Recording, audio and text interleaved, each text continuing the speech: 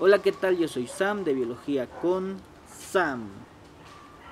Me encuentro en la piedra de la reflexión tratando de meditar una pregunta.